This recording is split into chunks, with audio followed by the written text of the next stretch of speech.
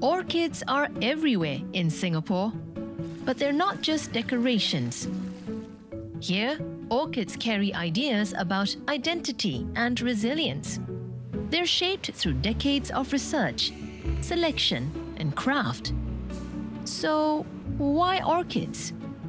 How did they become part of Singapore's story? And what does it take to grow the ones we see today?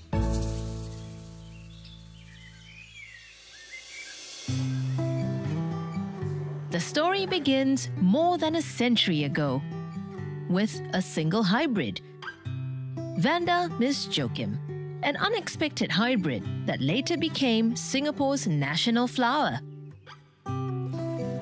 It showed that hybridization could produce more resilient blooms and that new forms could be created. The plants can be grown under the full sun. It can easily be multiplied and propagated. It's a very free-flowering plant. What started as one hybrid has grown into thousands, each shaped for Singapore's climate and for a meaning beyond its blooms. Much of that work happens here at the Botanic Gardens, where Singapore grows and studies its orchids. Few people work more closely with these blooms than Lei King. She curates the orchid collection here. Orchids play an integral role in Singapore Botanic Gardens. Since 1870s, we have been collecting orchid species and growing them. In 1928, it started orchid hybridization program. Because of that, it started the orchid export trade. Orchids are an integral part of Singapore history and identity. Every new orchid starts with a decision. Which traits are needed? Color, form, heat tolerance, or flowering reliability? The list of creating new hybrids is endless. There's always something to improve on. Exceptional flowering qualities, nice flower arrangement, nice color. Most importantly, it flowers throughout the year. Pollination is done by hand. Orchids have male and female part on the same plant. So they can be a mother, can also be a father. So if I decided this will be the mother, I will show, that I will take out the pollen. So this is the male part. The yellow one is called the pollinia. Then I will insert it into here. Yeah? But before I put it in, I will remove the pollen from here. Because this is not to confuse the flower. Then we will put it inside here. If pollination succeeds, the seed pod forms and matures for three to six months before it's sent to the lab. One of the major concerns in the tissue culture lab is that of contamination. Gillian leads micropropagation at the Botanic Gardens, supporting orchid breeding with seed germination and cloning. Here, everything is sterilized, even the seed pod. Inside each pod, there can be millions of tiny seeds, harvested and sown onto a nutrient-rich culture. What we often do is we add coconut water or banana or potato, tomato as well. So sometimes when we're making nutrient media, it can look like a cooking show because there's a lot of chopping and blending that's going on in that lab.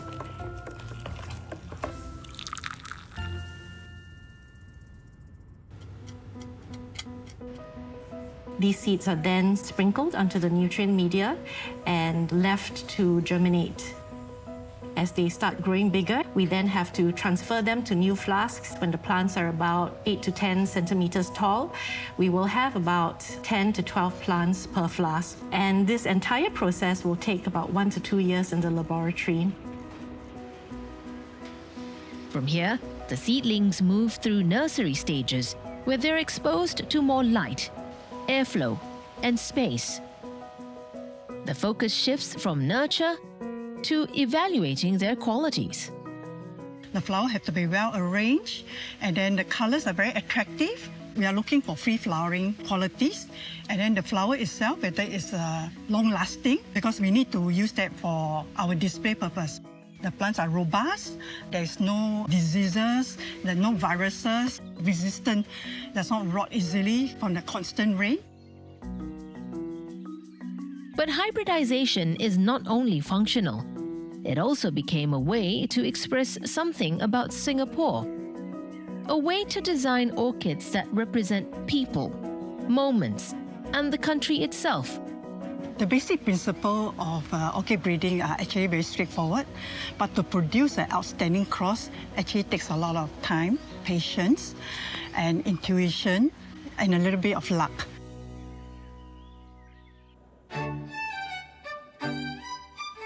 Some orchids are created to honor visiting leaders. Others mark events, milestones, or relationships. Each carries a story through its color, form, or character. When South African President Nelson Mandela visited Singapore in 1997, the team wanted a hybrid that reflected the colors of the South African flag green, red, yellow. The colors of the flowers matches closely to the national color of South African flag. Very lucky we happen to have that hybrid. When we produce orchids that are named after visiting dignitaries, it seals Singapore's relationship with the visiting country. And as our collection grows of these VIP orchids, it is then a botanical record of our diplomatic relations over the years.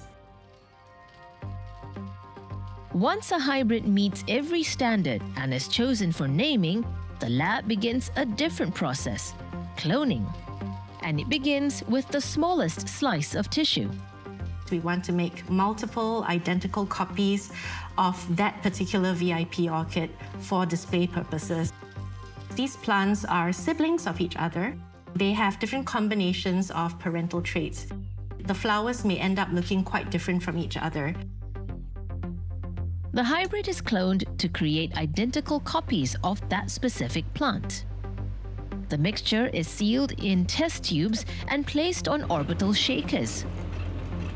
The gentle spinning spreads nutrients evenly and draws air through the growing cells. We also want to confuse the plant cells because when they don't have a sense of direction, when they don't know which way is up or which way is down, they then reproduce in an undifferentiated manner into a mass of green cells that we call callus tissue. The more green mass we can get, the more plants we can regenerate. It is slow, meticulous work that sits behind every hybrid orchid that visitors see.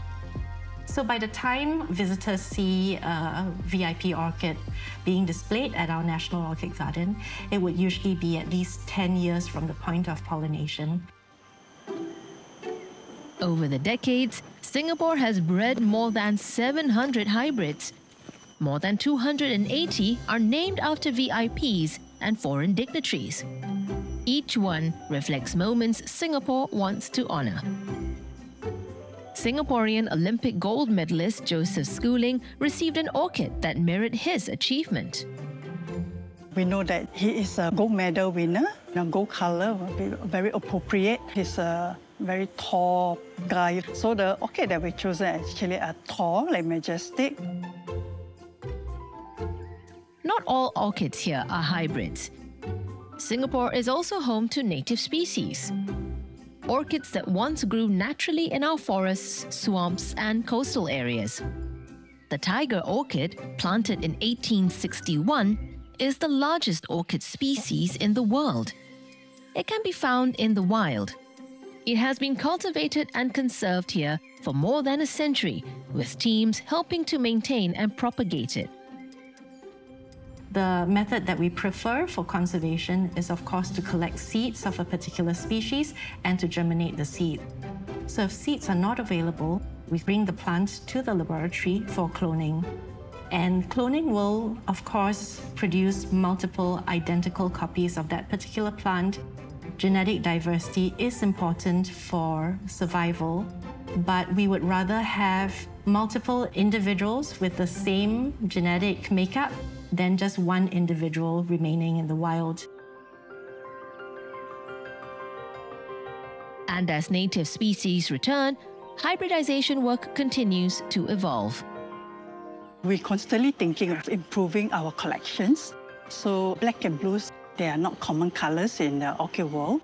So what we can do is uh, we try to introduce new species or new hybrids that actually has that potential, a very contrasting color.